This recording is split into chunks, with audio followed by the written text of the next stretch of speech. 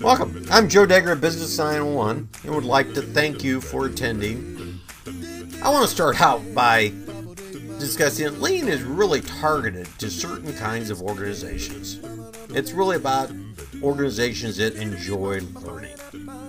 And you have to take lean on as a knowledge creation, especially in the sales and marketing arena, as a knowledge creation device versus a waste reduction type of thinking.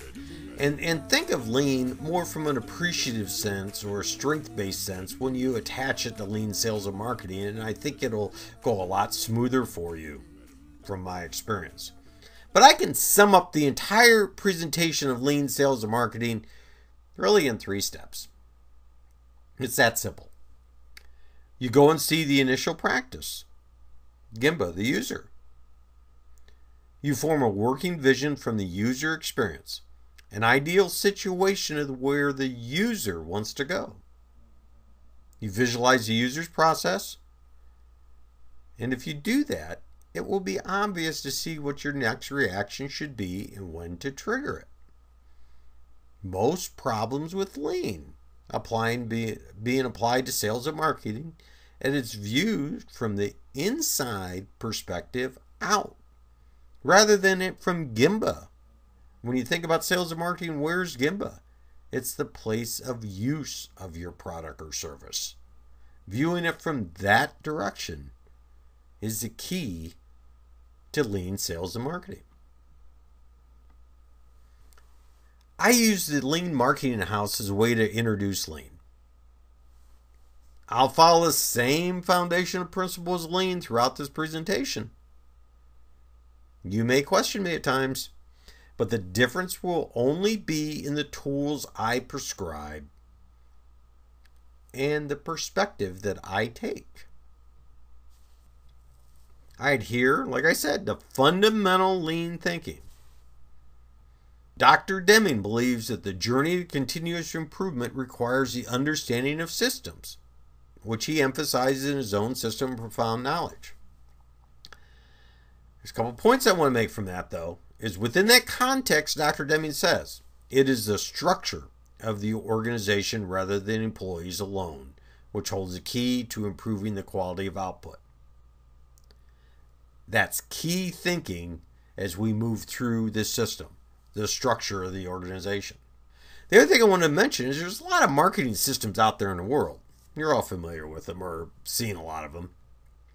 However, most of them have relatively little value towards improvement or optimization as a whole.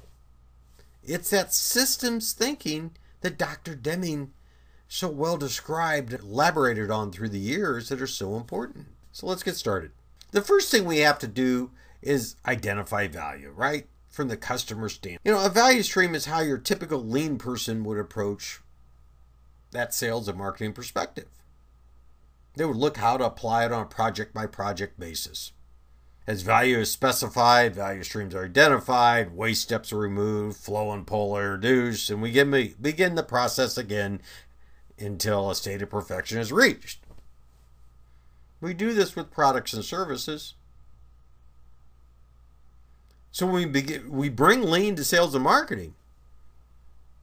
the first thing we do is we start looking at ways to make things better, faster, cheaper. And sales and marketing even has this sales funnel, as you can see linear here. We visualize the marketing cycle through the use of funnel thinking on how it narrows down to the actual purchase of the product. A linear approach to predict, plan, predict, plan, and proceed is a tough way to advance. It assumes we can take our customer by the hand and lead them through the process we assume we can get them to conform. And at the end of this whole process, we negotiate a win win proposition. Well, there's something wrong with this picture. Most of us will say that we're customer centered or service centered, right? But where's the customer in this process? He's out here on the right hand side. He's right here out here on the end of the process. traditional lean evolves around supply chain, and goods are what I call product dominant logic. Sales and marketing are judged by the marketplace, not by an increase in cycle time or space. As I mentioned before, it's a user perspective. And the most critical driver of success is usability excellence. Users are a growth engine.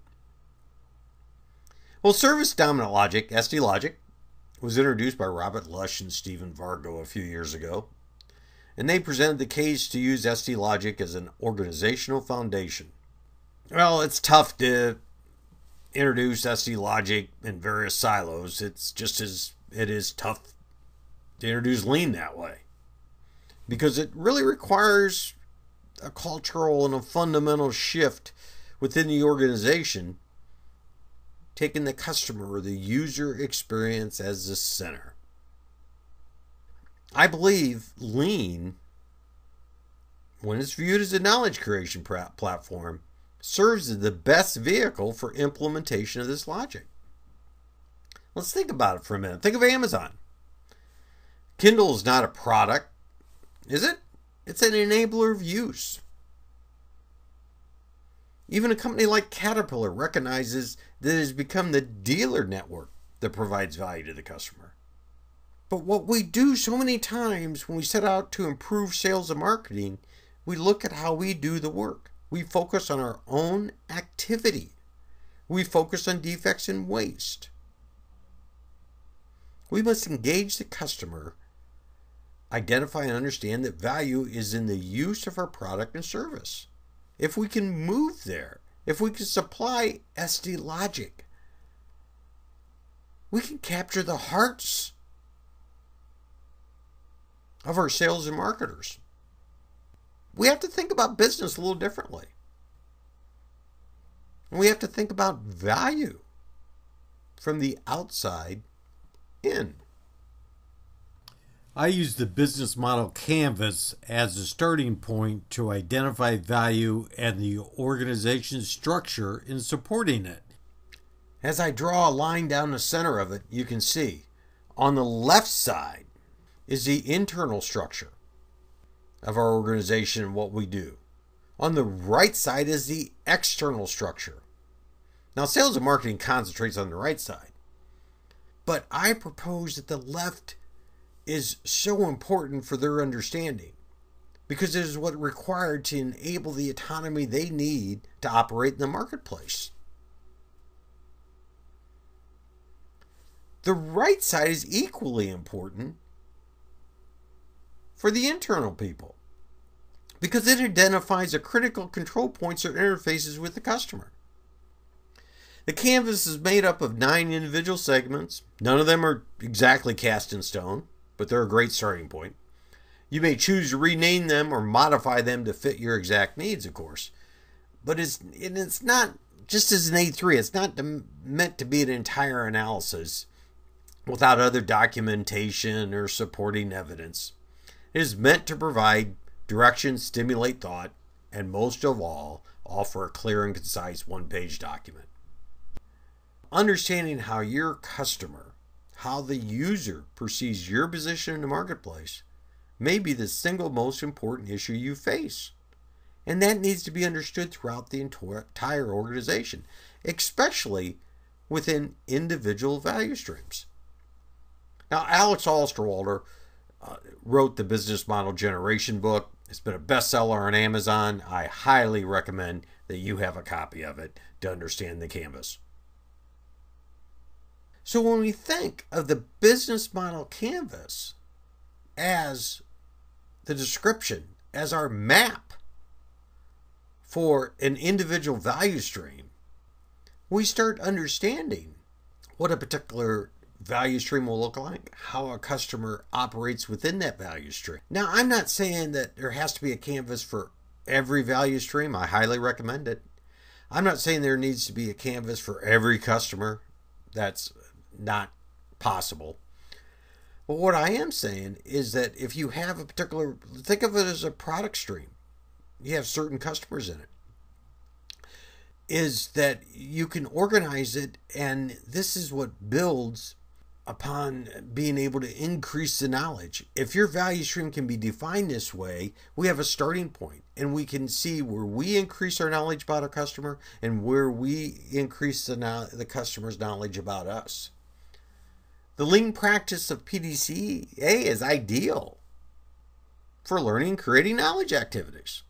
And if we follow this type of thinking, it allows individuals and teams to recognize and take advantage of opportunities and make decisions faster and be more responsive. I'm not trying to force fit lean into sales and marketing. If you're here for that, it's wrong.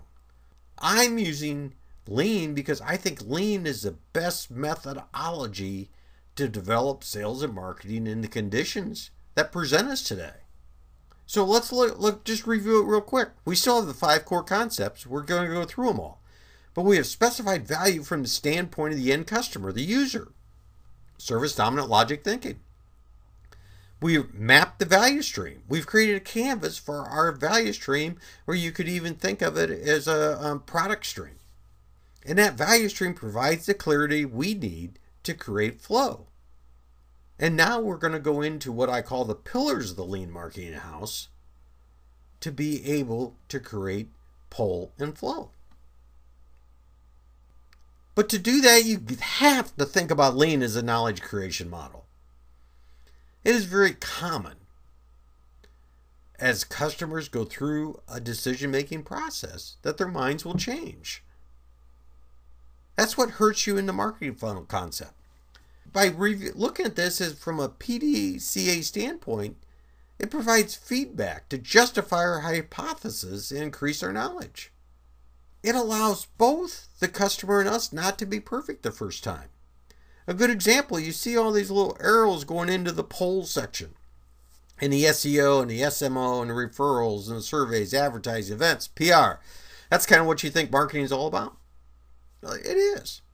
We in pull, we, we, we grasp from the world around us, and we should spread our funnel as wide as we can effectively. And we involve customers with us, and then they go through them green blocks there is what each individual value stream is maybe just for one value stream or it could be for multiple value streams but we we go ahead and we try to get the customer into the right area so we can influence them properly and if that doesn't work if he doesn't want the influence we allow him to go back out we interact with him learn what we can and leave him go back out to the outside world it may be to be captured again.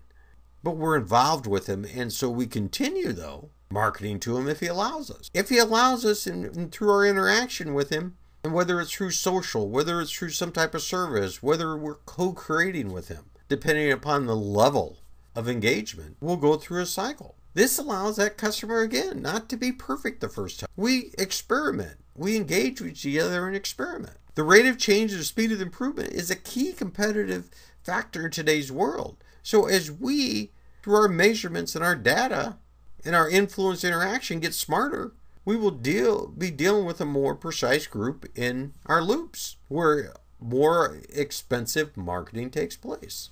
Because we're not looking for major jumps in performance. We're not looking at sitting there saying we're going to take 2,000 people and close 2,000 people tomorrow. We're looking to, our, to gain massive breakthroughs through frequent small improvement, PDCA. You know, as part of our cycle, we'll get feedback on all these actions. We'll get smarter with our listening and our measurement systems. It's part of a natural PDCA cycle. We have, though, to have a system involved and have a system in place so we can use and take advantage of all our resources. Remember, I discussed Deming and structure.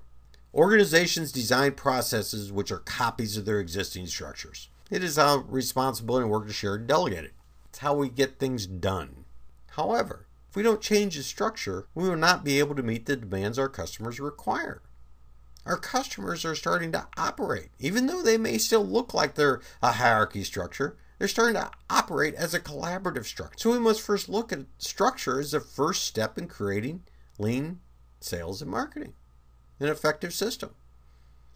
To do this, we must have overlapping and shared responsibilities. Kind of like this Venn diagram I show versus that hierarchy. The best model that I have found to do this is a lean model. It's leader standard work as explained in David Mann's book, Creating a Lean Culture.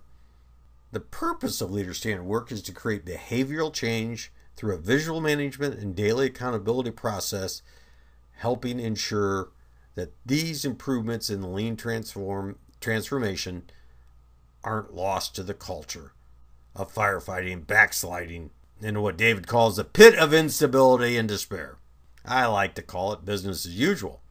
But it is this method of leader standard work that allows us to start building lean engagement teams. Now, we may, big enough organization, may have several teams where we have one for each loop. We'll have our closers, we'll have, you know, people that specialize in the sales and the buying section of it, or someone that specializes in the collaboration section of it. Or we may have the different pillars. We could have three or four of these pillars for each value stream, and maybe one team operates across all the pillars in the collaborative area. Maybe we have one outside, one group of um, uh, team that works in the sales and buying across all of them. So they can also work horizontally. Or in the repeat upsell, we may have one group. All right, but we may have just one single group for the whole team if we're smart, smart enough, or small enough, excuse me. We hope we're smart enough. The importance of this is, though, is that there's overlapping structure. The importance of this is is not only overlapping structures within the engagement teams, but there's a team coordinator as I show here, a value stream manager that is responsible to the business model canvas that we develop for this value stream. He must be part of this in an overlapping way. And the way we do this is through daily stand ups, weekly meetings, monthly tacticals, where there's different levels of participation during that time. So it is all part of the leader standard work. The thing that has to surface, though, in it is that that servant leadership role must surface. Get empower the frontline staff with the resources. The key component of what a team coordinator does is supplying the resources. But these resources to be able to enable their actions to deliver an outstanding customer experience through becomes a primary responsibility for leadership. Standard work actually may become more standard for the higher ups as we move away from the main influencer and disruptor, the customer. And again, this is why it's so imperative to have the business model canvas as a guideline because it provides the clarity for everybody on the team. Now, this is a little cleaner example of what I was showing before. The drawing is a reflective of a Scrum sprint. And Scrum is an iterative, incremental framework for project management and agile software development. I use the loops to demonstrate a higher level of intimacy with a prospect. In the top loop, I got up there for existing customers or new customers to nurture an even stronger relationship. But to actually put these into practice, I use a Kanban board.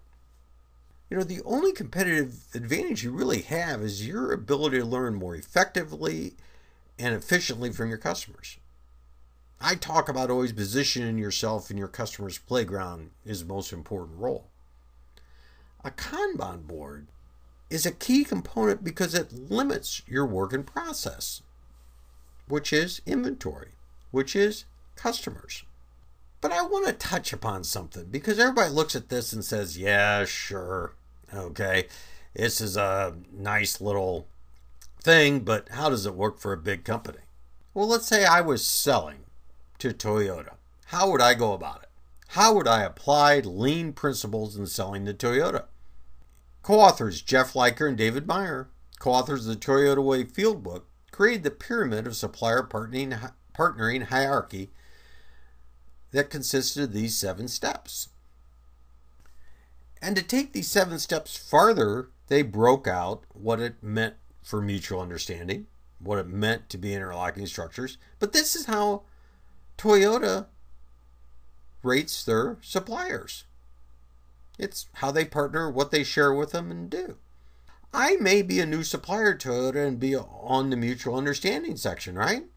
Or I may have been working with them for three, or four years and I'm up the compatibility capabilities where engineering, I have great engineering, operation, problem solving taking place, and we have compatible structures that we can work together. There's a certain format to that of how I work with Toyota. That's my standard work. Certain sales process that we do to maintain the compatibility capabilities or the control system, depending upon what part of the hierarchy I'm in. I do that. It could even be automated. Standard work could be completely automated. I don't do anything. Okay, besides someone comes to a website and gets out of a website. Is that we do have standard work applied. Now, I want to advance, I want to get better. So, what in my PDCA cycle will allow me to move from the capabilities of compatible capabilities to information sharing? What is required? What type of improvement do I need to move up the hierarchy? Become more valuable to my customer?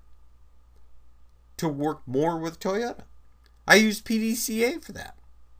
So as you can see, and that can float up and down this whole hierarchy depending upon where my value stream, my product fits.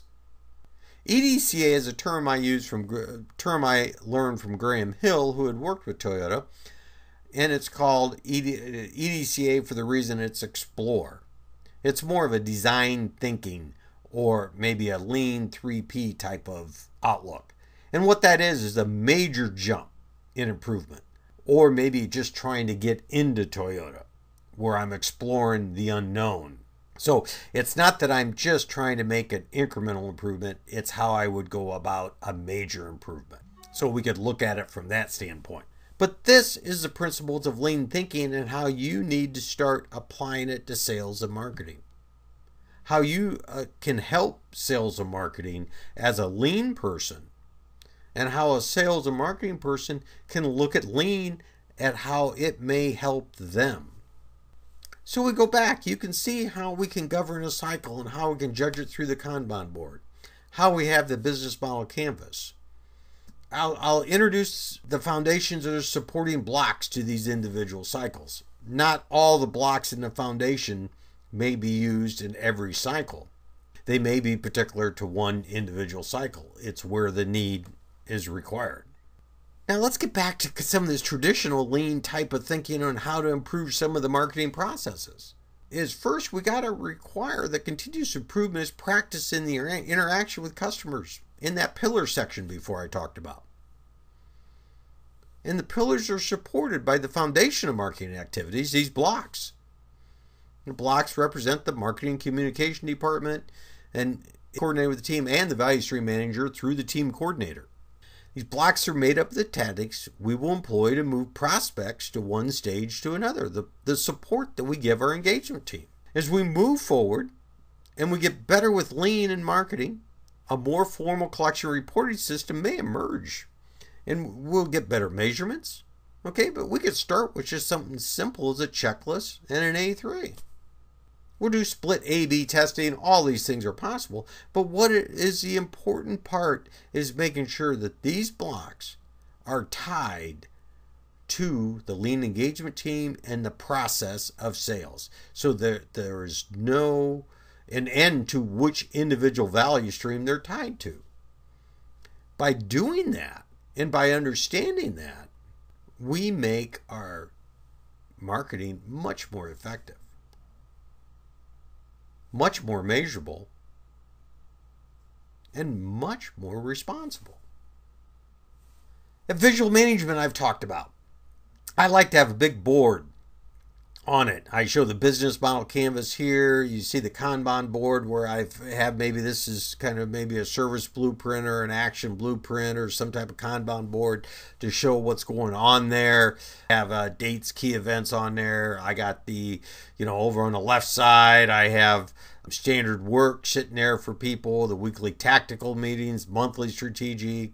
I can go into the canvases that we have for standard work and S and PDCA and for EDCA. So there's a lot of things going on here because you maybe only spend 50% of your time in PDCA or 50% in standard work and 20% PDCA and 20% in design a new system. Yeah, there's a lot of different things. What is important is that there's one gathering place for the value stream, one gathering place for the uh, individual business model canvas. At a glance, we can see what's going on. Making this transparent throughout the organization is one of the most cost effective, time effective things that you can do. This understanding can it can all be done virtually too, but this understanding is imperative for shared responsibilities and an overlapping work structure. It is one go to point for it all, and I encourage some process, some visual type management system to be made up. Much of all this is explained in the Marketing with Lean book series. But in addition, I really talk about engaging with someone else, finding another place that you can engage and get feedback external to your organization, even but you got to make the process your own. It is really how work is enabled. And remember, it's just an experiment. It's your PDCA CA cycle. And I hope you can add a few of these thoughts to your toolbox and to the way you do work. Thank you.